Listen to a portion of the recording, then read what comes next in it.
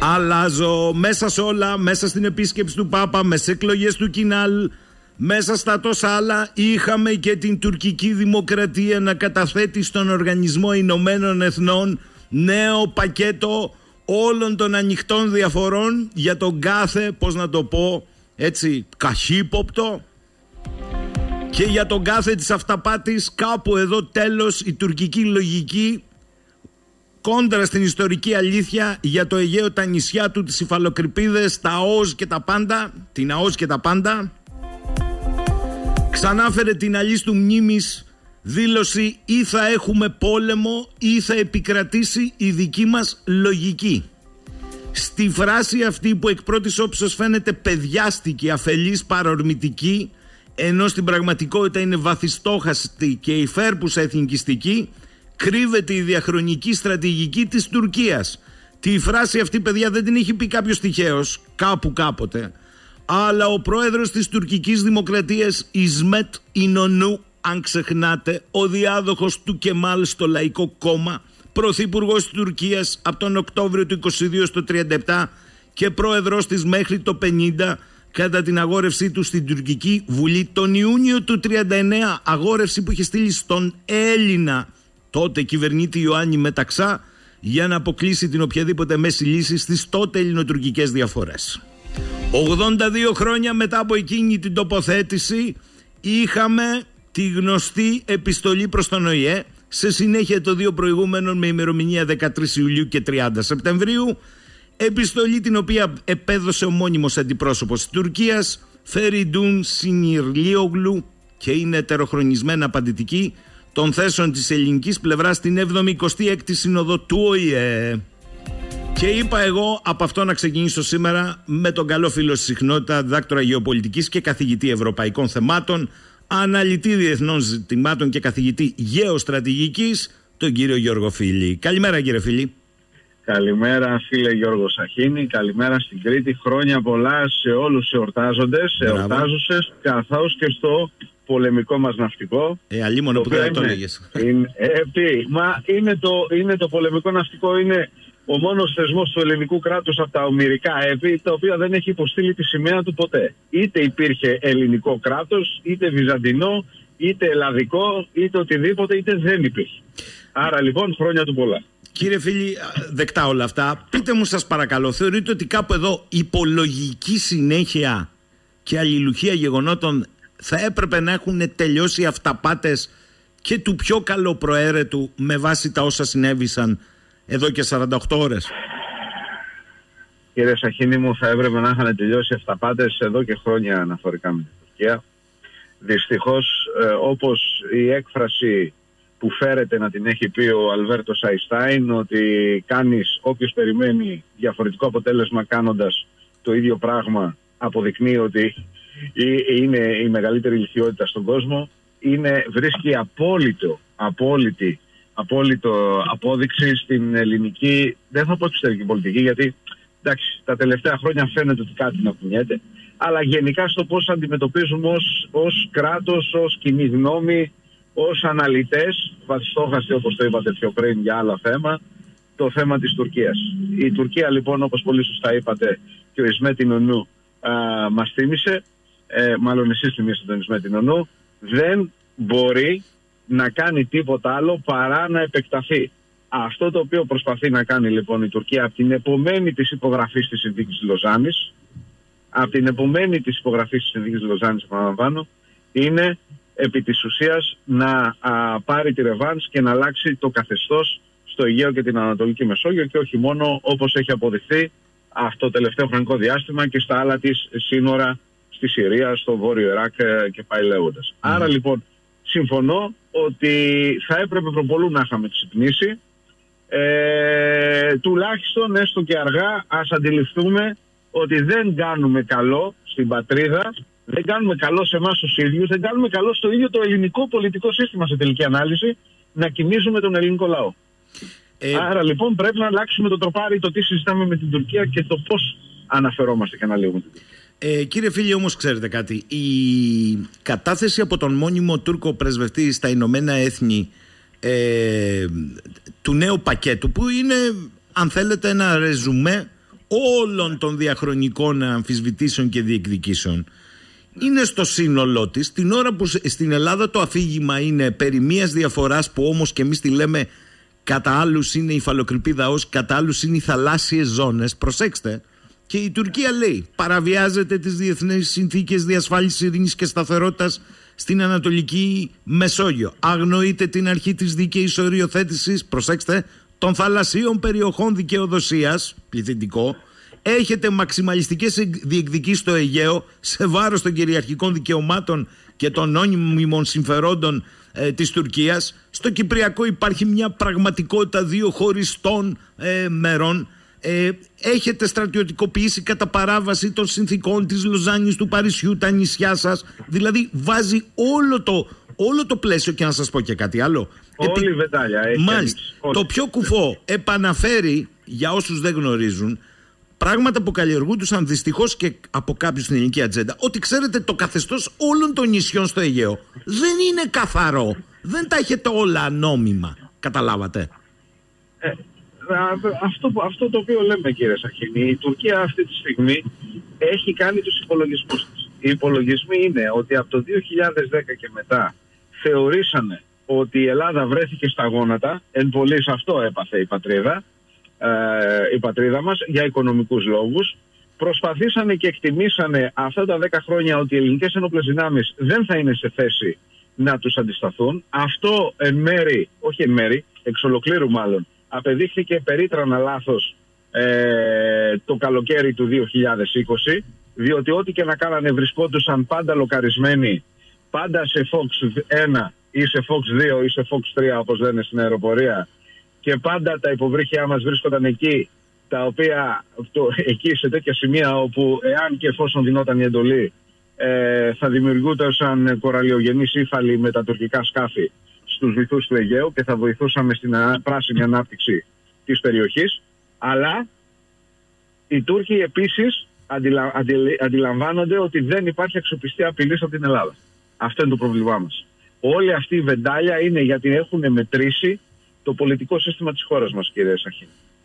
Μετρήσαν τις ένοπλες δυνάμεις, διαπιστώσαν ότι οι ένοπλες δυνάμεις δεν μπορούν επί της ουσίας να ιτηθούν επί του πεδίου έτσι όπως είναι αυτή τη στιγμή η Τουρκία και έτσι όπως είναι η Ελλάδα, αλλά εκτιμούν ότι το πολιτικό σύστημα της Ελλάδας δεν έχει αξιοπιστία απειλής. Το λέω πάρα πολύ μαλακά, καταλαβαίνουν όλοι οι φίλοι και οι φίλες που μας ακούνε τι ακριβώς εννοώ.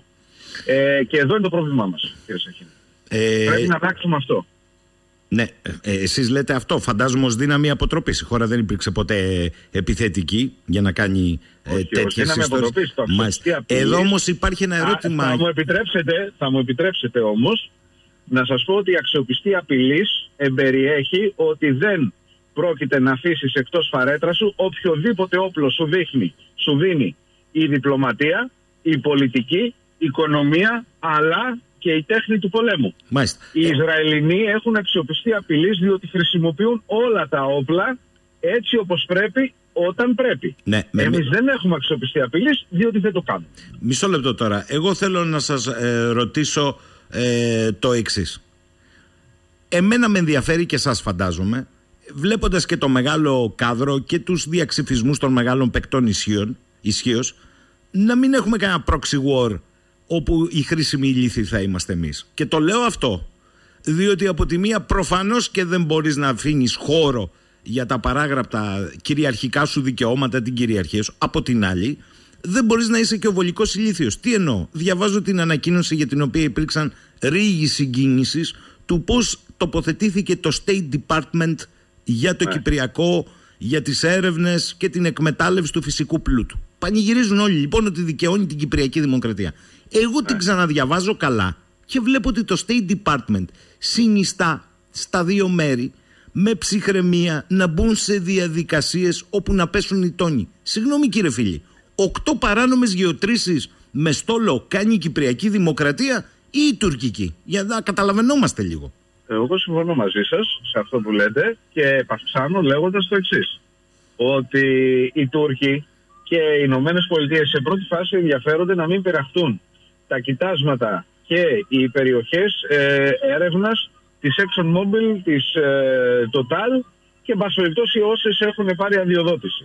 Τους Τούρκους όμως, επιτρέψτε μου να σας πω, δεν τους ενδιαφέρει αυτό. Οι Τούρκοι δεν ενδιαφέρονται για να σταματήσουν επί της ουσίας τις τρεις αυτές, τα τρία αυτά κοιτάσματα και τις έρευνε που, που, έχουμε βρεθεί, που έχουν βρεθεί εκεί. Για ποιο λόγο, διότι γνωρίζουν ότι έχουν να, τα, έχουν να κάνουν με την ε, Γαλλία και με την Ιταλία, με τη Γαλλία κυρίως και τις ΗΠΑ. Αυτό όμως το οποίο ενδιαφέρει τους Τούρκους είναι το εξής. Να πούνε ότι αυτά έχουν δικαίωμα να τα εξορίξουν εν πάση περιπτώσει οι Κύπροι, άντε τους το αφήνουμε, αλλά το υπόλοιπο 80% της περιοχής, 90% θα είναι αμφισβητούμενο και δικό μας. Αυτό κάνουν οι Τούρκοι. Οι Τούρκοι δεν θα πάνε να σταματήσουν την εξομόμπιλ. Σε τελική ανάλυση, κύριε Σαχίνη μου, μακάρι να πηγαίνανε. Αλλά δεν μπορεί να πάνε να σταματήσουν την εξομόμπιλ. Τους ενδιαφέρουν οι υπόλοιπες περιοχές. Και ε, αν μα δει κάποιος το χάρτη με τις διεκδικήσεις της Τουρκίας, όπου στις καλές σας εκπομπές και τις τηλεοπτικές το δείχνετε, ε, τους έχουμε πει πολλές φορές, θα διαπιστώσει κάποιος ότι τα κοιτάσματα εκεί που έχουν βρεθεί δεν είναι μέσα στους χάρτες των διεκδικήσεων των Τούρκων. Μπορεί να είναι κάποια βυθοτεμάχια τα οποία υπάρχουν τα κοιτάσματα, αλλά όχι οι περιοχές των κοιτασμάτων. Κατά συνέπεια, λοιπόν, συμβαίνει αυτό το οποίο λέω. Και λέμε ότι οι Τούρκοι δεν τους ενδιαφέρει να σταματήσουν τους Κυπρίους σε αυτά τα κοιτάσματα. Τους ενδιαφέρει να μην πάνε παραπέρα.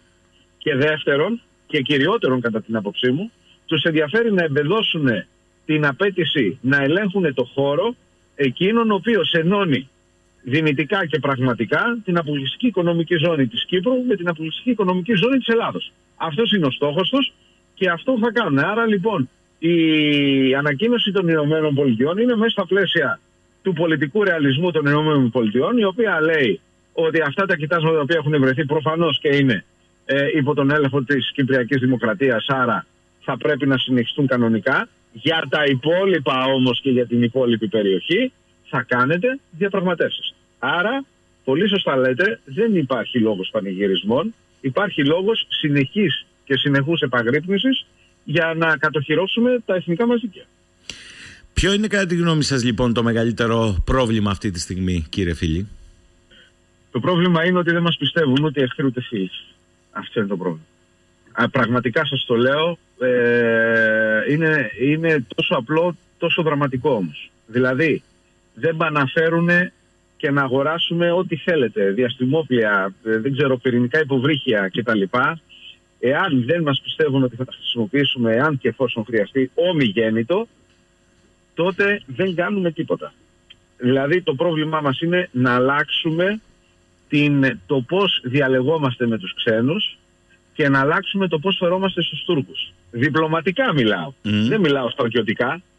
Με, υπάρχουν τρόποι που οι οποίοι να γίνουμε πιστευτοί σε τελική ανάλυση. Επαναλαμβάνω, όχι να πάμε σε πόλεμο. Έτσι. Ε, νομίζω ότι αυτό πρέπει να κάνουμε. Όταν στην Κύπρο συζητάμε μετά από 47 χρόνια αν η Κύπρος θα έχει αεροπορία και ναυτικές δυνάμεις. Μετά από 48 χρόνια διάολε οι Έλληνες της Κύπρου συζητάνε αν θα έχουν το δικαίωμα να υπερασπιστούν τον εαυτό τους και αυτοί που λένε όχι σου λένε το όχι υπό την έννοια ότι θα νευριάσει ο Τούρκος και δεν θα προχωρήσουν διαπραγματεύσεις. Δηλαδή είμαστε άξιοι της μοίρας μας. Είμαστε άξιοι της μοίρας μας. Θυμάστε, δεν θα το ξεχάσω, πριν δύο χρόνια είχαμε πει θα χαιρετάμε τις τουρκικές φρεγάτες από την Κρήτη. Το θυμάστε που το λέγαμε. Mm-hmm. Συνέβη. Συνέβη. Ποια Κρήτη. Εδώ κοντεύουν να φτάσουν στα Έτσι όπως πάνε με τη Λιβύη. Ε, λοιπόν. Ναι, ναι. Αυτό που θέλω να πω λοιπόν δεν είναι ότι δεν έχουμε την ισχύ να το σταματήσουμε δεν έχουμε τη θέληση να του σταματήσουμε. Εννοείται πολιτικά.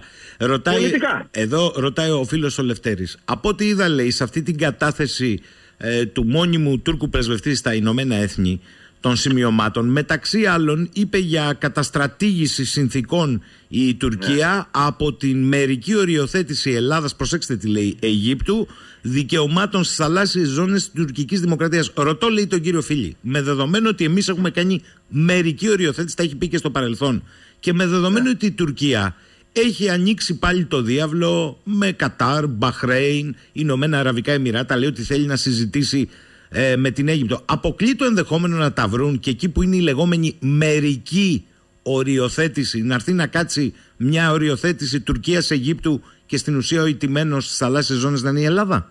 Ωραία. Πολύ σωστά. Συμφωνώ απολύτως διότι αυτό λέω ε, τόσο καιρό. Ότι, ε, εν πάση περιπτώσει, ε, το αν είμαστε αξιόπιστοι δεν είναι μόνο προς τους εχθρούς μας, είναι προς τους, και προς τους φίλους μας. Εάν δηλαδή δουν οι φίλοι μας ότι δεν μπορούμε να υπερασπιστούμε αυτά που υπογράφουμε μεταξύ μας, που υπογράφουμε δηλαδή και επηρεάζουν και τους ίδιους, προφανώς θα πάνε με τους Τούρκους υπό όρους. Διότι όπως έχουμε πει πολλές φορές, η φύση αποσάνεται το κενό. Και αυτό που είπατε είναι πάρα πολύ σωστό κύριε Σαφχίνη και θέλω να το επισημάνω για ακόμα μία φορά. Το έχουμε ξαναπεί, αλλά θέλω να το καταλάβουν οι φίλοι και οι φίλες που μας ακούνε. Η Τουρκία, όπως πολύ σωστά είπατε, προσπαθεί πλέον αφού άνοιξε όλα τα μέτωπα μέσα στην αλαζονία της και στο μαξιμαλισμό της, αντιλαμβάνεται ότι δεν μπορεί να τα βάλει με όλους και θέλει να τα κλείσει όλα τα μέτωπα πλην το μέτωπο με τον ελληνισμό. Γιατί; Γιατί το α και το μέγα της επέκτασης της Τουρκίας και του ρεβιζιονισμού της, του αναθεωρητισμού της, είναι ο ελληνικός χώρος. Είναι η Κύπρος, η Ανατολική Μεσόγειος, το Αιγαίο και η Θράκη. Εάν δεν πάει να έχει ό,τι θέλετε στη Λιβύη, εγώ θα σας πω να πάει και στο Μαρόκο που λέει ο λόγος. Να πάει και στη, όπως έχει πάει στη Σομαλία και στο Κατάρ. Όλα αυτά δεν έχουν σε καμία, κανένα, κανένα λόγο ύπαρξης εάν δεν επεκταθεί επί του πρακτέου με έλεγχο χώρο στη γειτονιά της. Και η γειτονιά της για να τα κάνει όλα αυτά είναι στη Συρία, είναι το Βόρειο Ιράκ που βλέπετε ότι έχεις βάλει και είναι ο θαλάσσιος και νησιωτικός χώρος του ελληνισμού. Άρα λοιπόν δεν είναι τυχαίο που προσπαθεί να τα κλείσει τα μέτωπα όλα πλην ημών. Γιατί εμείς είμαστε ο στόχος. Όλα τα μέτωπα που άνοιξε γύρω γύρω με τη Λιβύη γιατί το άνοιξε. Με τη Λιβύη το άνοιξε για να πάρει την ελληνική αποκλειστική οικονομική ζώνη κεφαλοκρηπίδα. Γιατί μας λέει ο Σελτζούκος ότι θέλει να κάνει διεθνής διάσκεψη για την Ανατολική Μεσόγειο για να πει στους Ισραηλινούς, στους Αιγύπτιους, στους Λιβανέζους και στους Λίβιους θα μοιράσουμε τα ελληνικά, τα ελλαδικά και τα κυπριακά. Αυτό είναι που θέλει να κάνει. Δεν θέλει να πειράξει κανέναν άλλον. Αν δείτε όλες οι, όλες οι οριοθετήσεις που κάνει η Τουρκία παίρνει μόνο από Κύπρο και από Ελλάδα και μετά λέει σου δίνω τόσο από την, από την Κύπρο στο Ισραήλ και σου δίνω τόσο από την Ελλάδα στην Αίγυπτο. Δηλαδή για να είμαστε ξεκάθαροι, οι Τούρκοι θα πάνε σε 50 χρόνια από τώρα στην Λιβύη και στην Αίγυπτο και θα πάνε μόνο αν πέσει η Ελλάδα και η Κύπρος. Ε... Άρα λοιπόν αυτό που είπατε είναι η ουσία της όλης συζήτησης. Θα πρέπει λοιπόν να καταλάβουν και οι Λίβοι και οι Αιγύπτιοι ότι όποιος και να είναι εδώ πέρα δεν μπορεί να γίνει ανοιχτή οποιαδήποτε κίνηση στην οποία δεν συμφωνεί ο ελληνισμός για να μην πω για την Αίγυπτο ότι η συμφωνία που υπάρχει είναι, νομίζω το άρθρο 2, ότι ουδής πρόκειται να κάνει οροθέτηση με άλλον χωρίς συμφωνή γνώμη είτε της Ελλάδας είτε της Αιγύπτου. Κατά συνέπεια λοιπόν, αυτό το οποίο πρέπει να γίνει είναι, εγώ έχω πει και, και αναλαμβάνω την ευθύνη που λέω ότι θα πρέπει η Ελλάς ένα ναυτικό μήλι ως κοινό σύνορο να το υπογράψει ο ΣΑΟΣ με την ε, Κύπρο. Και τα υπόλοιπα να τα συζητήσουμε με την Αιγύπτια και την, και την, και την, ε, και την Τουρκία. Εάν δεν το κάνουμε αυτό και είμαστε τόσο ε, άνετοι στο τι γίνεται στην περιοχή Κρήτη, Ρόδος, Κύπρος, θα χάσουμε όλη την περιοχή. Για να μην πω μετά ότι οι Τούρκοι θα πάνε και, στο, και στα νησιά του Αιγαίου. Έτσι. Εκεί καταλαβαίνετε ότι αυτός είναι και απότερος στο κόστος. Και μόλις θα αλλάξουν ή θα προσπαθήσουν και θα επιτύχουν κάτι σε αυτό το θέμα, θα δείτε πώς θα θυμηθούν την έννοια ότι τα νησιά έχουν ναού και φαλοκρηπίδα. Θέλω πριν κλείσουμε τη βοήθειά σας, διότι στην ε, τουρκική πολιτική σκηνή ε, ναι. απαξάπαντες ε, τηρούν την ίδια γλώσσα και έτσι εκπαιδεύουν, ε, με πολλά εισαγωγικά η λέξη εκπαιδεύουν, το ίδιο ναι, το, ναι. το κοινό στη δημόσια συζήτηση των λεγόμενων εθνικών του θεμάτων. Στην ελληνική εσωτερική σκηνή δεν υπάρχει αυτή η διευκρίνηση, η αποσαφήνιση ενιών όρων συνθήκων με, πολλε, ε, με αποτέλεσμα πολλές φορές να δημιουργείται και σύγχυση ακόμη και από συναδέλφους σας ενώ αναλυτές γεωπολιτικούς. Λοιπόν, προσέξτε τι θέλω να μας βοηθήσετε. Στην επιστολή αυτή, γιατί μου το ρωτάει πολλοί κόσμος, αλλά θέλω να το πείτε εσείς, ναι. εγώ δεν είμαι ο ειδικός, έχω τη γνώμη μου και τη γνώση, αλλά καλό είναι να το πείτε εσείς.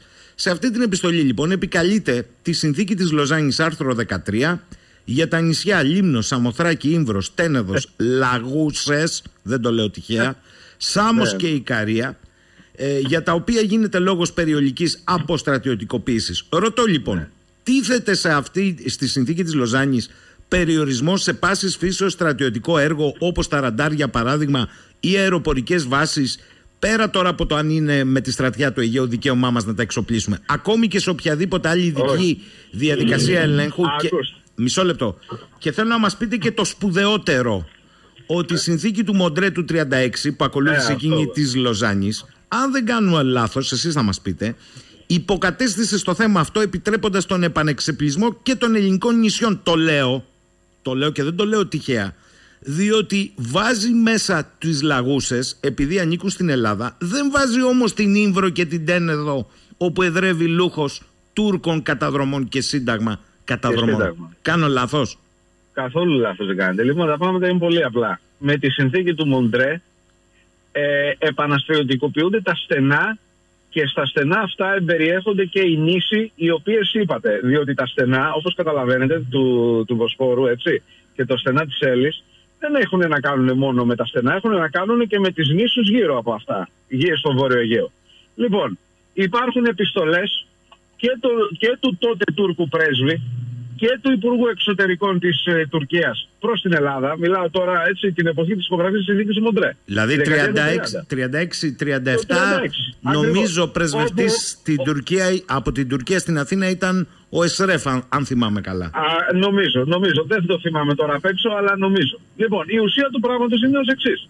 Ότι λέει ότι η Τουρκία αποδέχεται τον επανεξοπλισμό των νήσων της Αμοθάκης και της και της ε, λιμνου έτσι και των παρακείμενων νήσων που είναι γύρω από τα στενά και το αποδέχεται γιατί είναι μέσα στα πλαίσια του επαναξοπλισμού των στενών και της συνθήκης του Μοντρέ. Αυτά είναι ένα και ένα κάνουν δύο. Δεν εντίθεται ένα αμφιβόλο. Εντάξει. Άρα λοιπόν, επί της ουσίας, η Σαμοθράκη και η Λίμνος είναι καλώς επανεξοπλισμένες ακριβώς διότι προβλέπεται, προβλέπεται, εν οι Τούρκοι το αποδεχτήκανε με συγχωρείτε, ναι, ναι. Μέσα, στην, μέσα, στην, ε, μέσα στο πλαίσιο του επαναξοπλισμού των στενών. Καθώς και η διεθνής κοινότητα. Το δεύτερο που, θε, που, θέλω να, σας, να σας λοιπόν, ρωτήσω. κοιτάξτε, ε, να, να σου πω για τη συνθήκη της Λοζάνης. Η συνθήκη της Λοζάνης, όπως τη διαβάσει, θα, θα διαβάσει ότι δεν, δεν απαγορεύει οι στρατεύσιμοι οι οποίοι βρίσκονται είναι από τα νησιά να υπάρχουν πάνω στα νησιά είναι κατανοητό αυτό που συζητάμε. Μάλιστα. ούτε, και... ούτε μας λέει ότι δεν επιτρέπεται να έχουμε ραντάρ, ούτε μας λέει όλες τις άλλες βλακίες που λένε οι Τούρκοι. Αφήνω λοιπόν την έννοια της αυτοάμυνας και τα λοιπά και πάω ε, στο αυτό καθε αυτό ζήτημα. Ε, η, συνθήκη, η συνθήκη της Λοζάνης επιτρέπει στην Ελλάδα το δικαίωμα της αυτοάμυνας και το να υπάρχουν στρατιωτικές δυνάμεις πάνω στα νησιά. Ποιος είναι αυτός που θα μας πει ότι ο Λιμνιός δεν θα πάει στη Λίμνο, ο Χιώτης δεν θα πάει στη Χίο και ο Μητυλινιό θα πάει στη Μητυλίνη, επειδή θέλουν οι Τούρκοι. Επιτρέπει να υπάρχουν και εθνοφυλακοί και αστυνομικές δυνάμεις. Κατά συνέπεια, όλα τα άλλα είναι εκ του πονηρού. Μάλιστα. Το τελευταίο που θέλω να σας ρωτήσω γιατί το έθιξαν πάρα πολύ ε, σε αυτή την επιστολή αναφέρονται και στο όπως το λένε οι ίδιοι ασαφές καθεστώς μη περιγεγραμμένο ε, της ε, Δωδεκανήσου. Εγώ όμως γνωρίζω και θέλω να μας πείτε εσείς ότι κατά την παραχώρηση με τη συνθήκη των Παρισίων του 47 από την Ιταλία στην Ελλάδα έχει περιγραφεί πλήρως με βάση την παραχώρηση της Τουρκίας στην Ιταλία ονομαστικά πέραν των νήσων Ρόδου, Σίμης, Χάλκης, Καρπάθου, Κάσου, Τίλου, Καλύμνου, Λέρου, Πάτμων, Λιψών, Κόαστη, Πάλας και Νησίρου και οι νησίδες του τότε συμπλέγματος της μεγίστης Καστελορίζου τις οποίες κατήχαν μέχρι τότε οι Ιταλοί. Κάνω λάθος δεν κάνετε καθόλου λάθος. Αυτό το οποίο πρώτα και κύριο η συνθήκη των Παρισίων δεν είναι διάδικο μέρος η, η Τουρκία. Για να είμαστε ξεκάθαροι. Με τη συνθήκη των Παρισίων η Ιταλία ε, μετα, μεταβιβάζει τις νήσους τις συγκεκριμένες στην Ελλάδα. Και μεταβιβάζονται όλες οι νήσες, οι νήσοι οι οποίοι βρίσκονταν και οι παρακείμενοι νήσοι οι οποίοι βρίσκονταν υπό Ιταλική κατοχή μέχρι το 1945-46. Έτσι. Κατά συνέπεια λοιπόν η Τουρκία πρώτον δεν έχει κανένα ρόλο και λόγο στα τεκτενόμενα. Έχει απαρατηθεί από κάθε δικαίωμα από την εποχή της Οθωμανικής Αυτοκρατορίας που τα έδωσε στην Ιταλία μετά τον Οθωμανο-Ιταλικό πόλεμο του 1911 και ε, επίσης θα πρέπει να πούμε σε τελική ανάλυση και για τη συνθήκη της Λοζάνης, της Λοζάνης για να είμαστε ξεκάθαροι ότι οι Τούρκοι έχουν δικαίωμα σε νησιά τρία μίλια από τις ακτές τους εκτός και αν αναφέρονται διαφορετικά. Λοιπόν, όλα τα άλλα είναι άλλα λόγια να αγαπιόμαστε. για την Τουρκία. Πολύ απλά αυτό που κάνει είναι αυτό που είπαμε. Η Τουρκία ανοίγει όλη τη βεντάλια απέναντι στις διεκδικήσεις για την Ελλάδα. Όταν θα φύγει ο κύριος Ερντογάν, οι επόμενοι θα, έχουν, θα έχει ανεβάσει ο κύριος Ερντογάν τον πύχη ε, 100 φορές πάνω από όταν τον, ανέλ, τον, ε, τον βρήκε και η επόμενη λοιπόν του κυρίου Ερντογάν, ο οποίος νομίζω ότι πλέον είναι σε αποδρομή, θα προσπαθήσουν με τον ένα ή τον άλλον τρόπο να υλοποιήσουν αυτά τα οποία εμείς ήμασταν πολύ άνετοι για να τους απαντάμε όταν έπρεπε να απαντάμε. Κατά συνέπεια, επιτρέψτε μου να σας πω, δεν έχει κανένα ρόλο οι διεθνείς συνθήκες άμα δεν έχεις τη στρατιωτική ισχύ και τη θέληση αποτροπής να υπερασπιστείς τον εαυτό σου. Όλα τα άλλα δεν υπάρχει τίποτα. Δυστυχώς, το λέω με τα πόνου ψυχής διότι τα έχω σπουδάσει και τα ασχολούμαι ως επαγγελματίας. Και εν πάση περιπτώσει να σας το πω και κάτι άλλο γιατί αυτό δεν, δεν, δεν μπορώ να μην το πω. Γιατί όταν σου λένε για τον κορονοϊό και προσέξτε το επιχείρημα αυτό κύριε Σαχίνη όταν σου λένε το, για τον κορονοϊό η πολιτική μας εμείς ακούμε τους γιατρούς και την ιατρική κοινότητα γιατί αυτή είναι υπεύθυνη γιατί διάολε δεν το λένε και για τα διεθνή θέματα της πατρίδος μας. Πώς για τον κορονοϊό σου λένε οι ιατροί θα μας πούνε τι θα κάνουμε. Δεν φταίω εγώ. Οι μας κάνουν ό,τι θα μας κάνουν. Και θα πάμε σε αυτού του οθωμανικού τύπου χαράτσια. Τα οποία θα τα πληρώνουν τα παιδιά των συνταξιούχων. Εάν δεν μπορούν οι συνταξιούχοι να τα πληρώσουν. Γιατί δεν λένε το ίδιο; Γιατί δεν λένε το ίδιο για τις διεθνείς σχέσεις; Γιατί δεν λένε ότι υπάρχουν άνθρωποι. Δεν μιλάω για τον Γιώργο το φίλη. Μιλάω για τους άλλους συναδέλφους. Που ξέρουν, κρούν τον κόδωνα του κινδύνου τόσα χρόνια, δεκαετίες. Εγώ είμαι μικρός σχετικά ηλικιακός και δεν είχα δημοσιολόγο πριν 10 χρόνια, εν πάση περιπτώσει. Γιατί; Άρα λοιπόν το πρόβλημά μας δεν είναι η Τουρκία, κύριε Σαχίνη. Το πρόβλημά μας είναι εδώ πέρα τι γίνεται.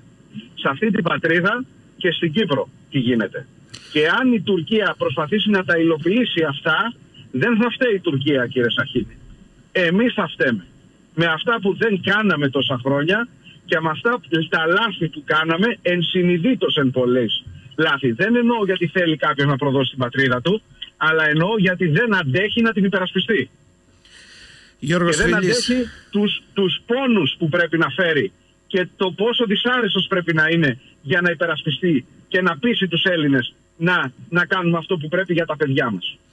Γιώργος Φίλης... Συγγνώμη αν Όχι, όχι είπατε τη γνώμη σας αβίαστα. Θέλω να σας ευχαριστήσω θερμά και για τις απαντήσεις στους ακροατές για μια φορά ακόμη. Καλή σας ημέρα κύριε φίλη, καλή εβδομάδα.